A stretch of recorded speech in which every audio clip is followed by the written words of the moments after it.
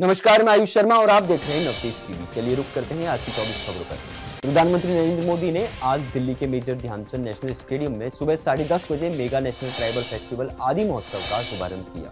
PM Modi सुबह ग्यारह बजे राजस्थान के सिरोही ज़िले में आबू रोड स्थित ब्रह्म कुमारी संस्थान के शांति वन में जन जल अभियान का उद्घाटन किया।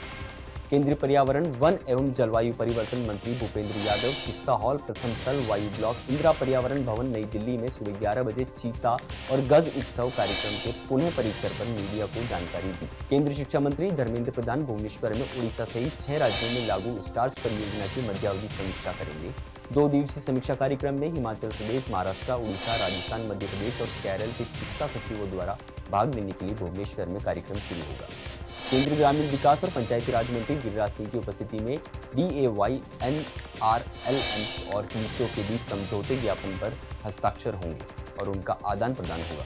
केंद्रीय मंत्री गिरिराज सिंह और ग्रामीण विकास सचिव सुबह साढ़े ग्यारह बजे लोधी स्टेट नई दिल्ली में मीडिया को संबोधित करेंगे। राष्ट्रीय मीडिया केंद्र नई दिल्ली में सुबह ग्यारह बज के बीस मिनट पर गृह मंत्रालय और शिक्षा मंत्रालय द्वारा की गई पहल कवच 2023 साइबर सुरक्षा हैकाथॉन का शुभारंभ हुआ।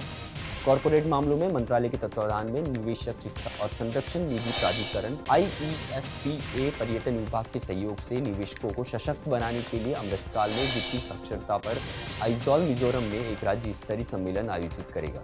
साठ सदस्यीय त्रिपुरा विधानसभा के लिए मतदान होगा। मतों की गिनती तीन मार्च को होगी।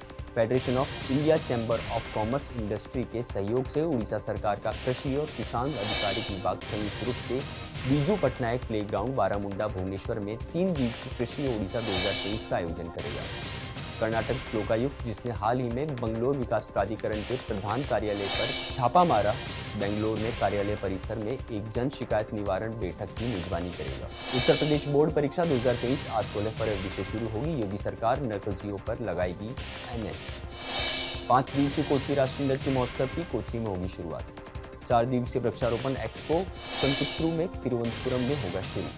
आईसीसी महिला टी ट्वेंटी वर्ल्ड कप 2022-23 के ग्रुप एक के ग्यारहवें मैच ऑस्ट्रेलिया और श्रीलंका के बीच गेके बरहा में शाम साढ़े छह बजे होगी भिड़न और संसदीय टिप्पणी के मामले में राहुल गांधी ने लोकसभा में नोटिस का जवाब दिया।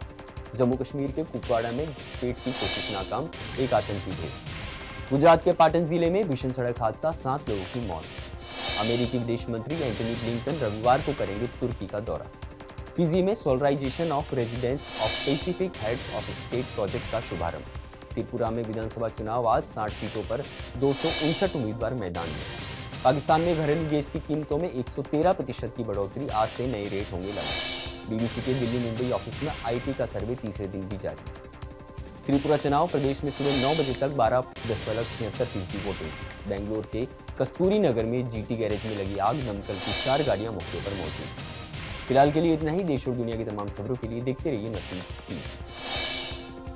देश और दुनिया की हर बड़ी खबर के लिए सब्सक्राइब करें नवतेज टीवी और पल पल के अपडेट्स के लिए बेल आइकन को दबाना ना भूलें। क्योंकि आपकी खबरों का भरोसेमंद साथी है नवतेज टीवी।